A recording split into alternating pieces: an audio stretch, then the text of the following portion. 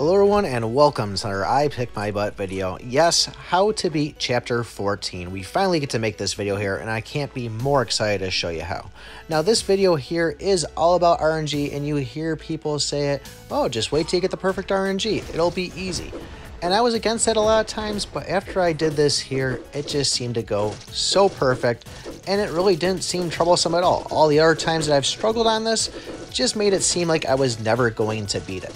So although this video is heavily RNG based and I am creaming through it so easily, we still are going to continue with some of the boss videos breaking down each individual one. But I figured this video here was a good way that you can see how I won it and what was some of the abilities that I had. Now if you look to the left, this is the gear that I used to beat this chapter, but I did want to show the image on the right that I do have a level 71 Ancient Legendary Bow, and that does about 700 more damage than my legendary staff that I have on the left. The reason I'm bringing this up is I actually switched back to the staff because the bow just didn't seem to cut it. And with Diagonal Arrow, it is just too OP in these boss boards that it just made it so easy once I got it. Now you can see that the very first thing I did get was Diagonal Arrow. I did get multi-shot from the devil himself, and I did get health, so it kind of balanced itself out too. That pretty much seems to be enough, but you'll see further in this video here, I was actually lucky enough to get another Diagonal Arrow, and that's when I knew I was going to beat this board. Now, as far as the Lion Rings I have, that is going to do about 500 additional damage to the bosses, which brings it up to about 3981 for the stuff that I'm using in this. But just imagine, for what I have on the right, 4600 damage still didn't seem like it was enough to beat it. Yes, I could get to probably about stage 7, but the second I switched over to the staff, I was easily getting to 9 if I got multi-shot and diagonal arrow. Another thing I did on this too was I was trying the Vest of Dexterity to see how the dodge would work, but I forgot about Phantom Cloak hitting that projectile resistance, and that really seemed to make a difference for me too. So like I said, all these little things with the right RNG really kind of added up. Now, I could sit here and try to break down every single boss and say, oh, do this, this, and this, but there really is so little time of how fast I'm wiping these bosses out, it's not really fair. So when we do go back and make the boss videos, we will be using the bow just so we can have a little bit of a longer time of facing them. This one was one that I haven't actually brought to the attention in those videos yet, but what I always try to do is go towards them at first. These are one of those things, if you try to run from them, you're just going to get hit. I did take a couple of zaps here, and I probably did get lucky on a lot of this, but this was still a nice easy win for me. I hate that boss, and I'm glad I just killed him. And if you haven't seen those boss videos yet, I'll have them linked down in the description and probably on the end screen too. But all the other bosses we've killed before this one right here are in those other videos, and there's a couple other ones too. On chapter 14, there's a chance of 15 different bosses you can run into. Now these ones, I try to get away from them right as soon as I can, and I try not to go as far as I can, but I want to keep some distance so when they do throw those boulders, I am able to move away. And if I find them twirling at me, I am going to go to the closest open spot and then kind of work the same principle of slowly moving away from the boulders just to dodge them. Now you also see that we are running the Book of Enlightenment, which is an awesome book, but I honestly think that I could have beaten it without it.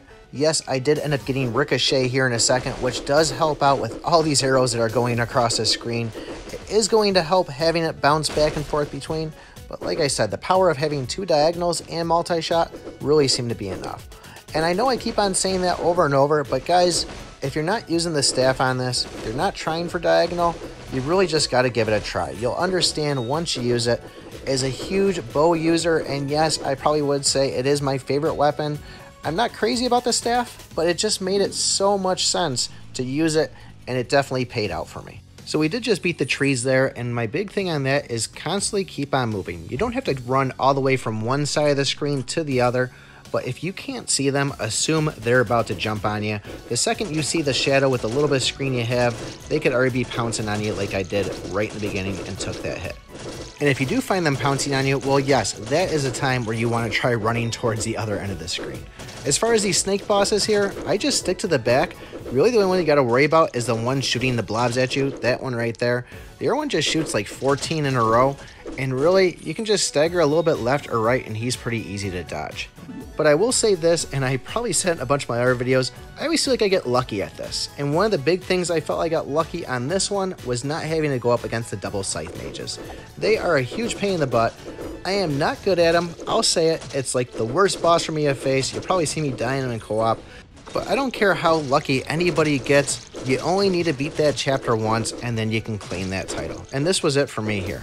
Now I did almost actually beat it without dying. I think I got to the last one and I was probably a couple hits away if I was a little bit smarter.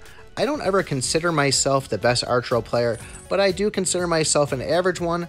So on that fact, I think if you go by these stats, somewhere around 3,500 attack and about 11,000 hit points, which does seem like a lot. Don't worry guys, you'll get there. That seemed like a good way to do it for being level 73. And the Lion Rings, they did help too. You probably saw my Angel Locket kick in, and I would say no matter what chapter you're on, use the Angel Locket. It makes sense, it's a lifesaver, literally. But as far as the bracelets, I wouldn't be too concerned on using the frozen one that I'm using for chapter 14. I would find the highest rarity, highest level, because that's going to give added attack damage to your character. And that means dropping these guys even faster. If you have to, set your phone down in between playing these bosses and get your cool. You got to keep your calm on them because you know as well as I do, going in nervous and anxious, sometimes I get the shakes when I play these guys for the first time and this time, it just seemed like I was cool, I was relaxed, and I think that paid out a lot too. Although dying right there made me think, oh geez, I'm to lose an R1. What's this to be? Try 200 for me? But luckily, I kept the cool and I did get through it.